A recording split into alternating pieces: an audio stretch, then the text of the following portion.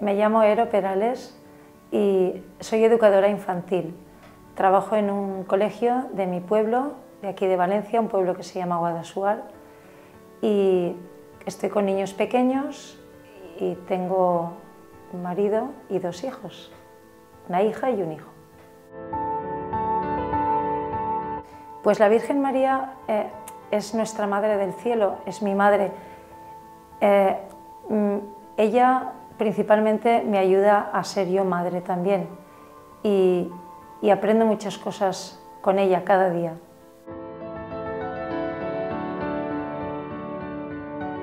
Es una meditación que te ayuda a, profundizar más toda la vida de Jesús y acompañada siempre de, nuestra Madre. Ella hace que, que comprendas por todo lo que pasó Él y, y te ayuda a aprender a vivir las cosas que, van sucediendo en tu vida.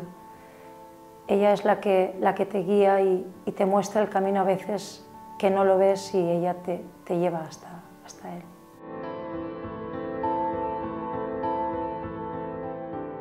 Mm, la Virgen María, eh, justamente en mi parroquia, tiene una advocación muy bonita. Eh, hemos escuchado siempre la Virgen de la Misericordia y ella pues eh, te ha ayudado mucho a, vivir en la vida de la fe, pero es verdad que siempre rezaba a Jesús. Parece que en mis oraciones la Virgen no aparecía. Y providencialmente conocí el hogar y a partir de entonces fue cuando en nuestra vida, en nuestra familia, empezamos a pronunciar la palabra mágica que es María y ahora no, no sabemos rezar sin, sin nombrarla. Va junto con Jesús, siempre, siempre los dos.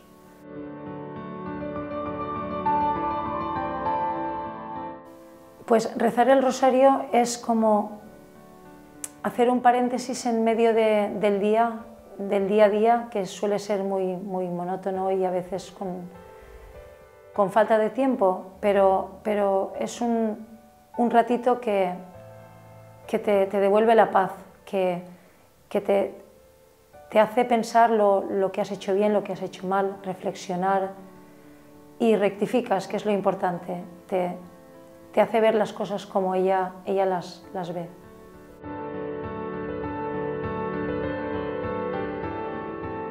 Pues cuando rezo el rosario procuro, procuro que ella se dé cuenta de lo que, de lo que necesito, en ese momento.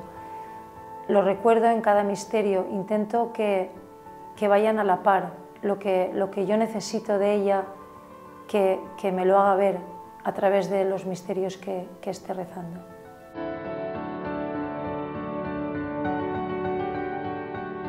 Fue también un poquito de, necesidad, un poco mm, egoístamente por mi parte, pero a, al, haber algunos problemas pues, en casa y necesitaba cogerme a algún sitio. Entonces la Virgen me daba ese consuelo que necesitaba en esos momentos y egoístamente recurrí a ella y no me ha fallado.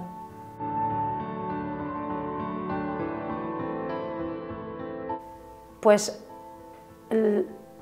rezarlo hace que, lo vayas conociendo y lo vayas amando más. Y eh, tanto cuando eres muy feliz porque la vida te sonríe, pues disfrutas con el rezo.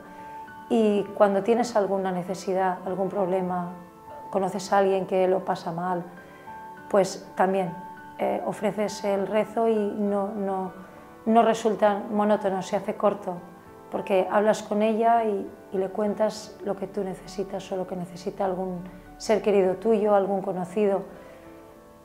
Te llena de felicidad en, cualquier situación, en las buenas y en las malas.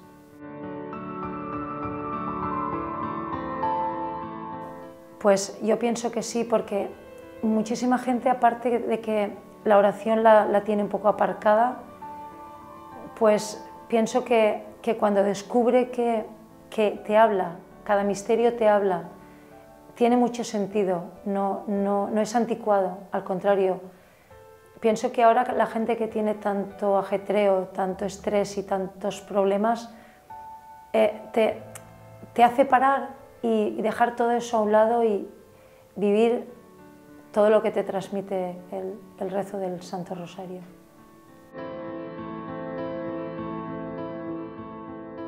Pues normalmente lo rezamos, procuramos, aunque seamos dos los que estamos en casa en ese momento, al acabar el trabajo, antes de cenar, aprovechamos y nos juntamos los que estamos en casa. Te da mucha alegría si empiezan dos y terminan cuatro, o sea que conforme van llegando a casa pues se van incorporando. Es muy bonito, es un momento especial, pues por lo menos el último misterio coincidir con mis hijos y terminarlo todos juntos muy bonito.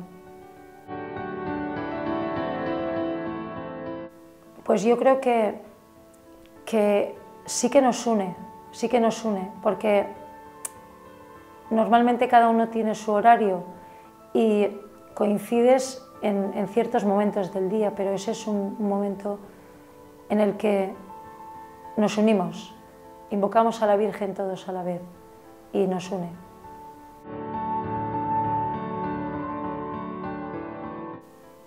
Pues eh, no tener tiempo para, rezar el rosario es, para mí es una excusa, porque todo el mundo tiene tiempo para lo que quiere, todos tenemos una escala de valores y, pienso que cada uno le da preferencia a una cosa. Puede ser que alguien se levante a las 7 de la mañana para ir a, hacer un ejercicio, donde sea, y alguien eso lo ve pues una cosa muy, muy pesada y en cambio pues el que le interesa la hace. Entonces, pues, para nosotros, pues es sacar tiempo de donde no haya porque te, recompensa y te, da mucha felicidad.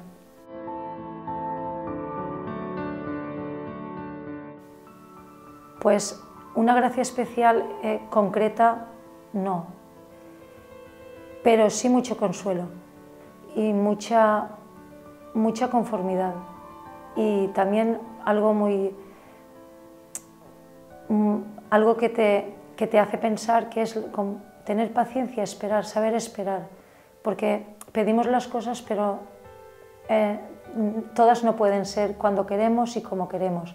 Entonces, el simple hecho de aceptar una cosa y, y mm, sentir que, que va a llegar, que puede ser, que no pasa nada, que tienes que, que tener paciencia, pues ya es suficiente.